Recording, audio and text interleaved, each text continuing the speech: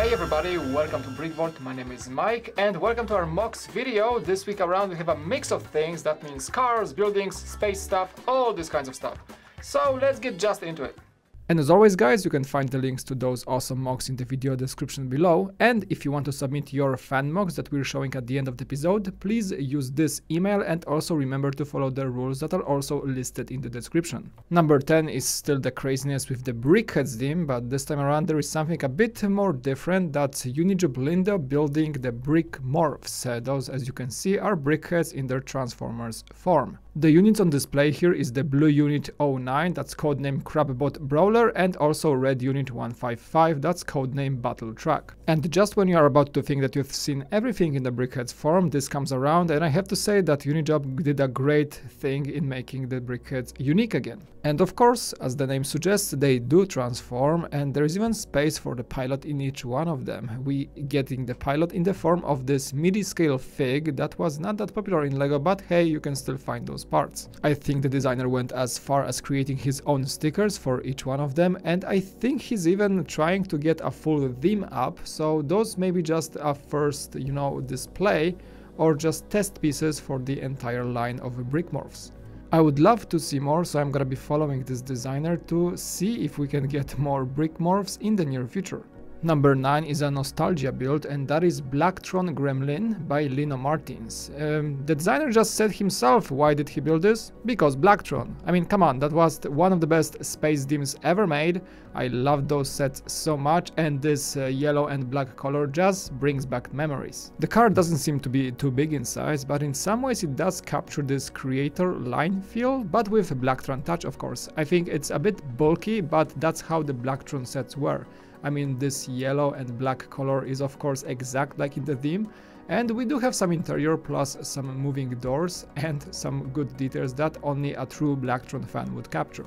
For me, the theme is somewhat still between the Ice Planet and maybe the Space Police or even the classic space, but it was so recognizable back in the days that it just keeps being added to any possible MOC on any LEGO convention. In all honesty, I have not seen a car like that for quite a while, and usually the Blacktron MOCs are about recreating the Blacktron sets or getting some bigger bases with much more epic detail. A car is something really new, so that is why I give a good thumbs up for Lino for creating this one.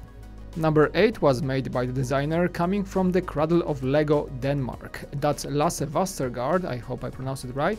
And this design is called LEGO Around the World. It is including 26 countries on a number of base plates or just some modular builds, I don't really know. But what really catches the eye is the beautiful sphere for the Earth globe. We have uh, again 26 countries included on each one of these uh, simple um, vignettes or dioramas and each one of them has a selection of minifigures that are really connected to the given country and some iconic landmark to go with that. I think that's pretty awesome. I like the color combo with using the sand and green. For those more dry countries and those more greenish countries, you know, it kind of works and the display looks amazing. I think that is a good thing to have if you go to a convention, you have a ready to go modular LEGO around the world. Moving up, number 7 is by a very well known designer to us, that's Tim Goddard with his Zycon 6. And of course that looks exactly, well maybe not exactly, but just a huge upgrade from the famous Ice Planet set, the Deep Freeze Defender.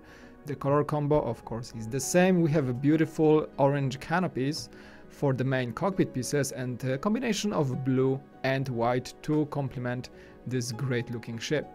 And I think this kind of an upgrade is a very welcome one, a studless build with beautiful shaping. The original ship was having this shape that was very iconic to this line of sets back in the 90s, but this thing is just a huge step forward. I love also the revamp of the back section. The original one had those garage door pieces for the storage area and this one has some sort of that as well, but much more uh, better done of course and with all those uh, pieces to include the details, it is just looking amazing. Tim is a very talented designer, so if you want to check out his spaceships and other cool builds, be sure to get into his Flickr page because there is a lot to look for. After that awesome spaceship, number 6 is a throwback in time that is the medieval village by iLive. It is a massive build that is consisting of several builds that iLive created over the years and this is just an epitome of his medieval theme creation. I mean just look at it, it's so epic including a castle, a number of things by the shore, number of houses and everything is so colorful and detailed, I'm simply astonished eh, how well this thing turned out. What immediately catches the eye is a great build for the shoreline waters using different shades of blue to create depth. Also, the rock formations and the sandy beaches create a very welcoming environment for those approaching ships. And this all merges very quickly into a very beautifully done medieval village.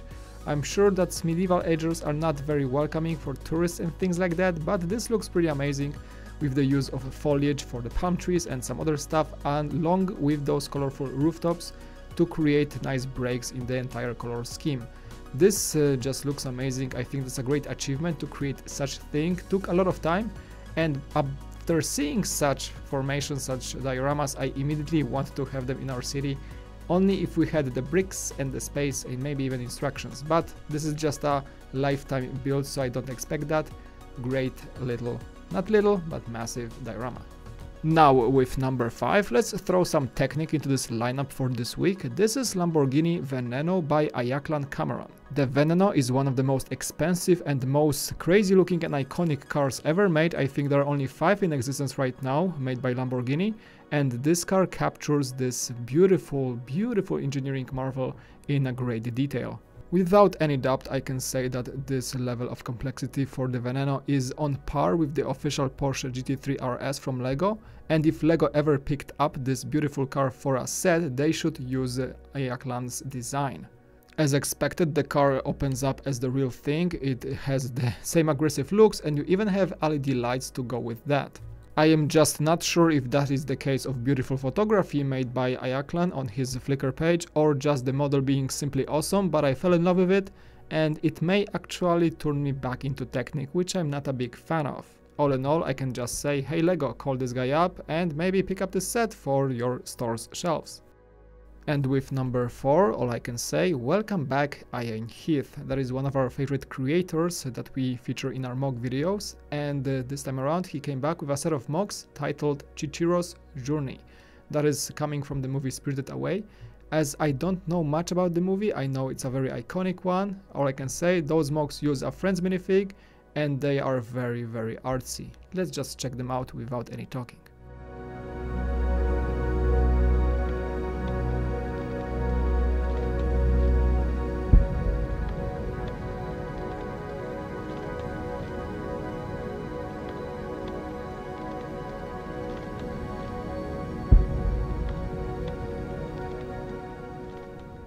Amazing again, isn't it? Thank you, Iain.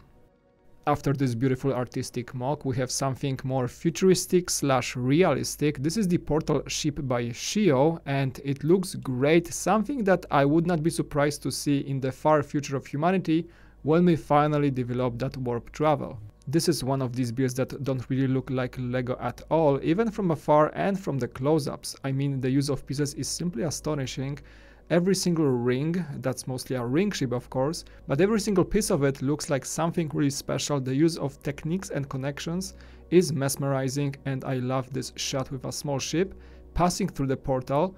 I wonder if that's gonna be really looking like if we ever develop such technology. The shots don't really tell the size of it, I mean even if the ship uh, passing through the portal is micro scale, the whole thing around it must be pretty massive. I just assume it takes about few good inches of size. But anyway, I have to be honest, this ship is so high up the list because of the originality and because I just love spaceships.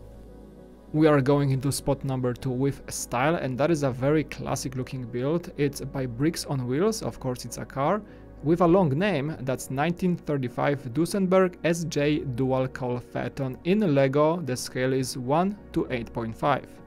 And I know that many purists will say, hey, he used chrome pieces, so that's not technically official LEGO. Well, it's not, but I think the effect of this chrome finish on many parts just adds to the amazingness of this model. It looks like a diecast car to me, the whole studless effect is uh, used to a great extent and of course the all details are there. The engine, everything inside, the tiny little things that made this car so luxurious back in 1935 just create an amazing, one of the best lookings I've seen so far this year actually. Lego model. I am not very much into the classic cars if I can be honest with you, but I'm sure the designer is very proud of this one because this is a one hunk of a model. Alright, and number one has to be something truly epic to top off this list, and I think it is, both in scale and the sheer amount of time it had to be put into it. This is the LEGO Wooden Roller Coaster by Chairudo, and the scale, I mean, just look at it. The designer does not really tell much about this model, I can't even guesstimate the number of pieces, of course it's in tens of thousands, and uh, well, it's all brown, so I'm not really sure how many brown pieces he used, but wow, the sheer size and the actual accuracy to what a wooden roller coaster really looks like in real life is astonishing. I've seen these big bad boys in Six Flags uh, in Los Angeles and many other places. I love roller coasters personally, so this may be a biased choice, but you can agree probably that the sheer um, effort it was put into this model can justify the number one spot for this list.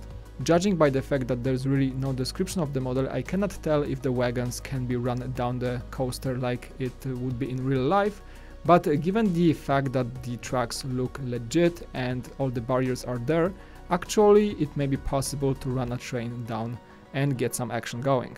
You can also even see some additions on the side of the track. There is a beautiful build for the trees using those leaves pieces and I think that is also a good spot to maybe expand the whole build with the official creator sets like the carousel or the Ferris wheel. I think it would be awesome. And that is of course a good start to create a massive Lego fairground. and also number one spot for this MOC, maybe by the fact that I was really in love with the Roller Coaster Tycoon games, so this thing might be hitting just the right notes.